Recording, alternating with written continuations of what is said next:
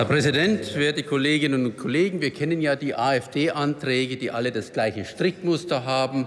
Zentraler Baustein ist immer das Aufbauen von Feindbildern und das sind immer die Migranten. Und das gilt auch für diesen Antrag, auch wenn Sie sehr vorsichtig formulieren und versuchen, den Anschein der Seriosität zu erwecken. Im Antrag greifen Sie auch Zahlen auf, die zum Teil sehr richtig sind. Sie werden aber wie in allen anderen AfD-Anträgen interpretiert, in Botschaften verwandelt, die dann eben nicht mehr korrekt sind. Natürlich müssen Staaten ihre Staatsbürger zurücknehmen. Und Deutschland hat mit vielen Staaten Verträge abgeschlossen.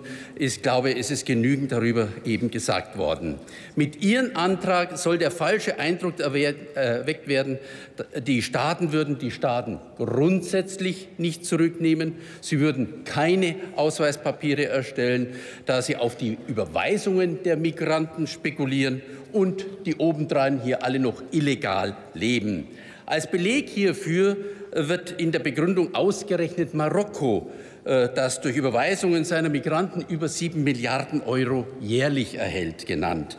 Die Botschaft der AfD ist klar, die Menschen sind illegal, die Regierung in Marokko nimmt sie nicht zurück, sie stellt keine Papiere aus und wir, wir zahlen auch noch sieben Milliarden an ja, Geldern.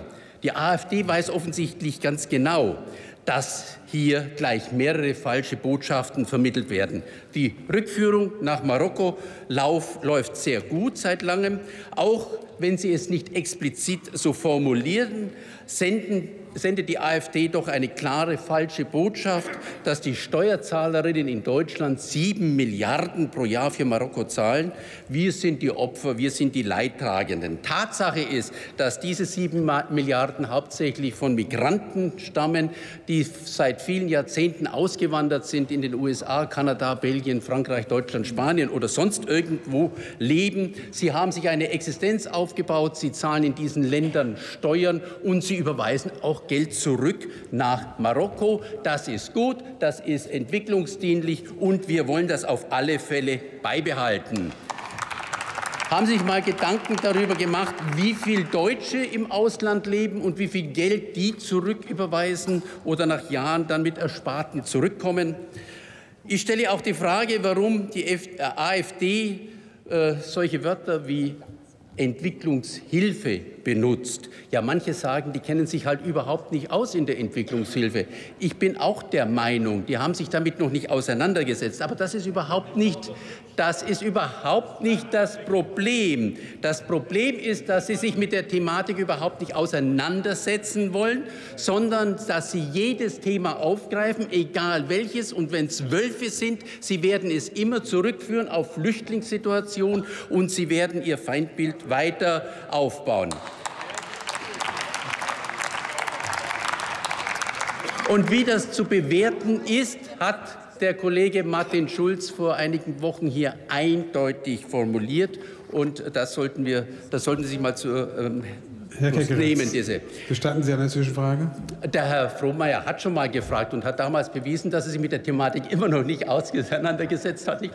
Und das ist nicht besser geworden. Er äh, spielt vier Stunden im AWZ mit seinem Handy. Also passen Sie da einfach auf, dann wird es auch in Zukunft besser werden. Die Grundproblematik, dass zurzeit 70 Millionen Menschen auf der Flucht sind, Tendenz steigen und die meisten von diesen von den ärmsten, hören Sie gut zu, von den ärmsten Ländern aufgenommen werden.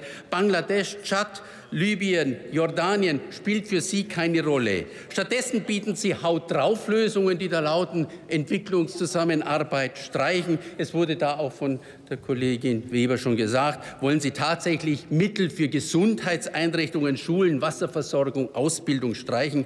Ich nenne so etwas würdelos und das passt nicht zu Deutschland. In einem solchen Antrag könnte man ja auch Werte, Ethik und Moral einfordern. Immerhin leben wir in Deutschland mit seiner Geschichte, seiner Kultur und die daraus entwickelten Werte. Aber ein solches Deutschland ist Ihnen völlig fremd.